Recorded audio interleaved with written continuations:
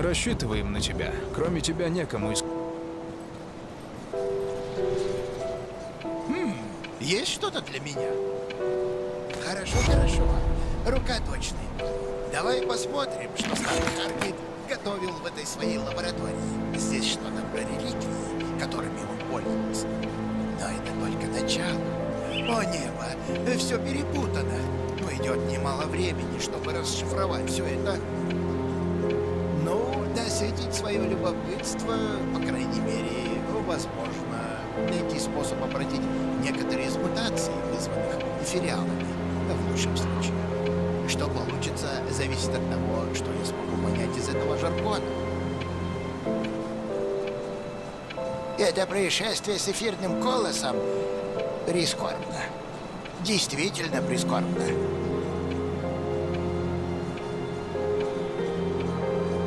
Формула Харгрейта оказалась сложной для расшифровки.